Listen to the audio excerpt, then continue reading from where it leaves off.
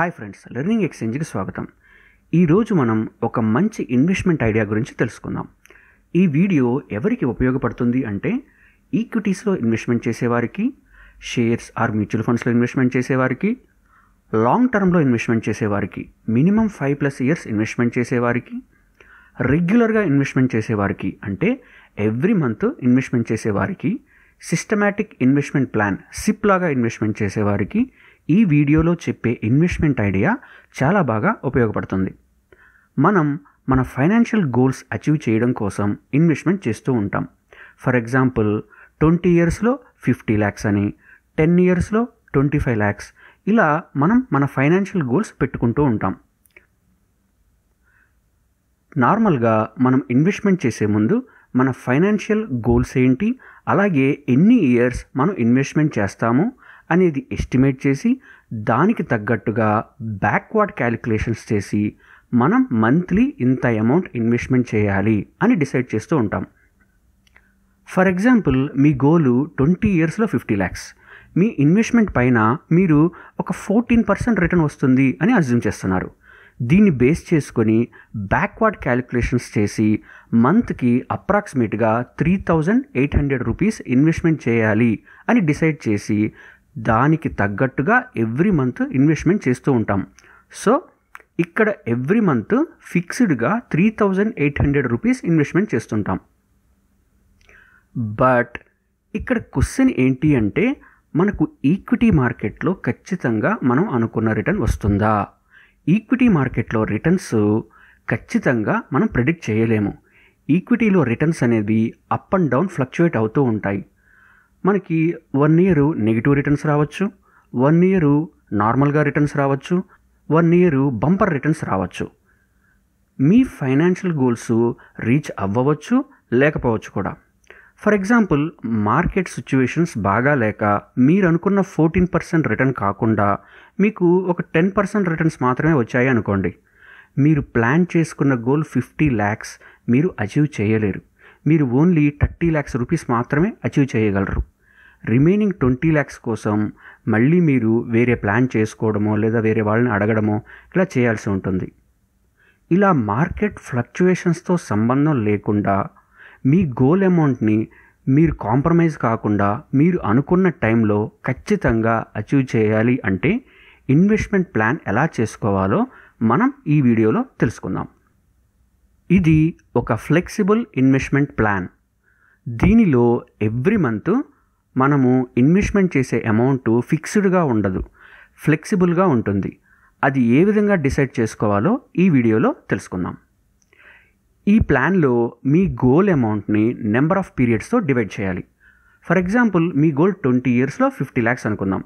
మీరు ఫిఫ్టీ ల్యాక్స్ని two forty మంత్స్తో డివైడ్ చేయాలి. Twenty years into twelve months is equal to two forty months. Round figure around twenty thousand rupees per month వస్తుంది right? ఇప్పుడు first month మీరు twenty thousand rupees investment చేశారు.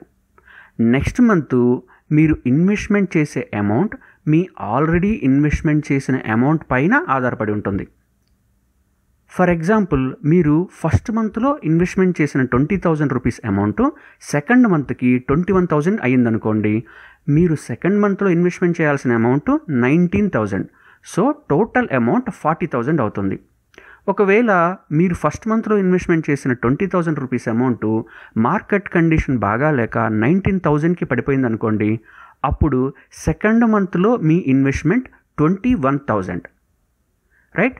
ఈ విధంగా ఎవ్రీ మంత్ మీ investment పైన వచ్చిన రిటర్న్స్ని బేస్ చేసుకొని ఫ్లెక్సిబుల్గా మీరు ఇన్వెస్ట్మెంట్ చేయాల్సిన అమౌంట్ ఉంటుంది. డీటెయిల్గా అర్థమవడం కోసం మరో ఎగ్జాంపుల్ చూద్దాం. మీ గోలు ట్వంటీ ఇయర్స్కి ఫిఫ్టీ ల్యాక్స్ అనుకోండి. So fifty lakhs divided by two forty months round figure around twenty thousand rupees per month. First month మీరు ట్వంటీ థౌజండ్ రూపీస్ ఇన్వెస్ట్మెంట్ చేశారు. సెకండ్ మంత్ మీరు ఇన్వెస్ట్మెంట్ చేసిన first month amount twenty thousand rupees amount twenty one thousand rupees అయ్యింది. So me second month investment forty thousand rupees minus twenty one thousand is equal to nineteen thousand rupees so nineteen thousand rupees మీరు second month investment చేయాలి. Third month మీరు investment చేసిన total amount thirty nine thousand అయ్యింది. So me third month investment sixty thousand minus thirty nine thousand is equal to twenty one thousand so third month మీరు twenty one thousand investment చేయాలి fourth మంత్కి వచ్చేసరికి మీరు investment చేసిన amount sixty one thousand five hundred rupees అయ్యిందనుకోండి. So me fourth month investment amount eighty thousand minus sixty one thousand five hundred. That equal to eighteen thousand five hundred. So fourth మంత్లో మీరు eighteen thousand five hundred rupees investment చేయాలి. ఇలా every month మీరు already investment చేసిన amount ఎంత return ఇచ్చిందో చూసుకొని దానికి తగ్గట్టుగా మన మంత్లీ ఇన్వెస్ట్మెంట్ ఫ్లెక్సిబుల్గా మార్చుకోవాలి. ఇలా చేయడం వల్ల మనం మన గోల్ ఫిఫ్టీ ల్యాక్స్ రూపీస్ని హండ్రెడ్ పర్సెంట్ అచీవ్ చేస్తాము. ఈ విధంగా ఇన్వెస్ట్మెంట్ చేయడం వల్ల బెనిఫిట్స్ ఏంటో చూద్దాం. మార్కెట్ ఫ్లక్చువేషన్స్తో సంబంధం లేకుండా మీ గోల్ హండ్రెడ్ పర్సెంట్ అచీవ్ చేయగలరు.